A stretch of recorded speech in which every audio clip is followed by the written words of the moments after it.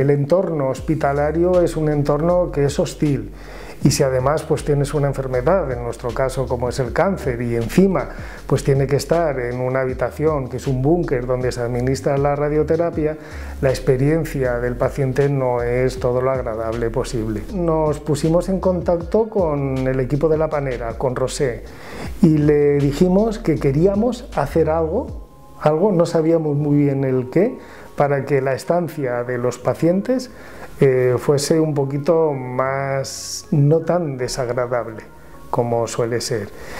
Y con eso nació el proyecto Radiación Positiva, que engloba muchas eh, actuaciones artísticas, pero que toda la finalidad, todas tienen el mismo patrón.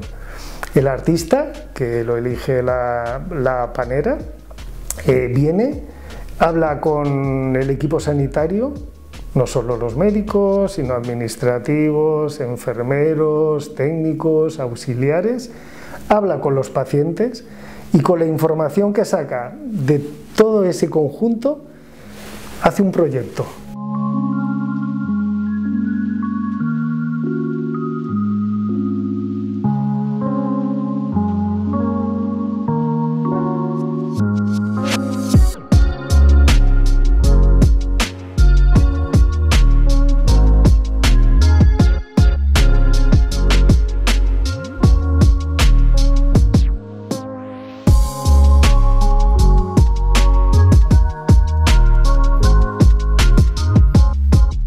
Conocemos eh, médicamente que los pacientes con cáncer eh, tienen unos niveles de estrés y ansiedad altos, importantes. Si con el ambiente podemos disminuir estos niveles, seguramente vamos a conseguir ayudar a su enfermedad.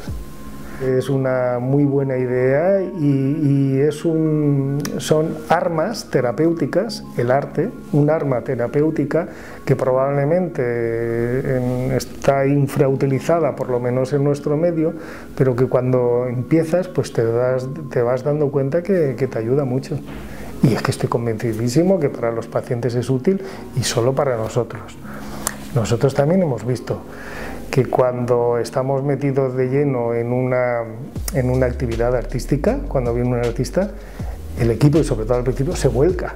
És molt positiu i potser des de la meva experiència una mica més, més artística amb altres disciplines, però perquè penso que tenim unes professions que són molt exigents, emocionalment també són molt exigents.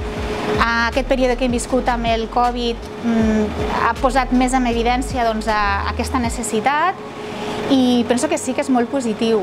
Eh, la percepció eh, de l'art en qualsevol de les seves disciplines penso que té uns efectes que són molt, molt positius i que això es pot després eh, transmetre ja no només en la nostra professió, sinó en la nostra vida diària.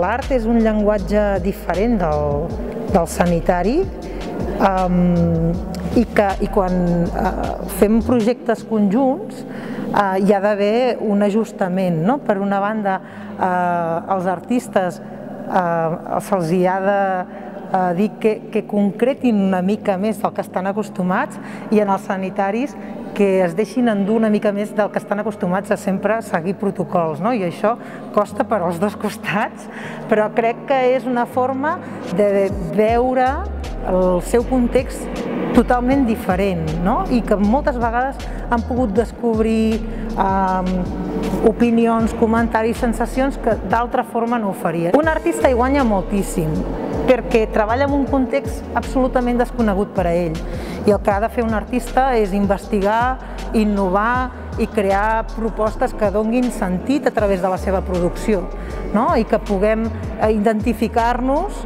molta gent a partir d'un projecte que pot ser una, una, un llibre d'artista, pot ser una performance o pot ser un vídeo. No? El suport és gairebé indiferent, però sí que ha d'ajudar a, a identificar-nos, a comprendre, a, a sentir-nos eh, acompanyats, no? a, a veure que, que ens passen moltes coses i que, i que les podem expressar i que les podem compartir.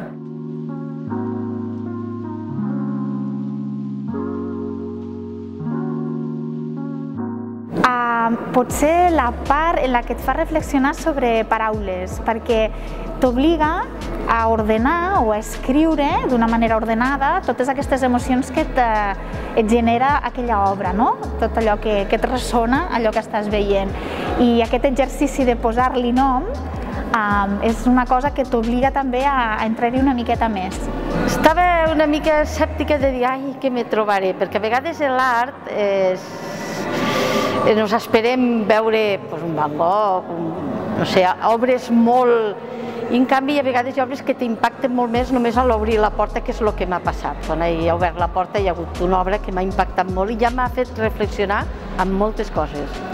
Doncs és una experiència molt interessant, sobretot del punt de vista que durant una estona eh, surts del teu ambient habitual i amb exposicions sobretot d'aquest tipus, que són exposicions que arriben a, a remoure i a, t'obliguen a transportar-te durant una estoneta a realitats que no són la teva, doncs eh, m'ha semblat molt interessant.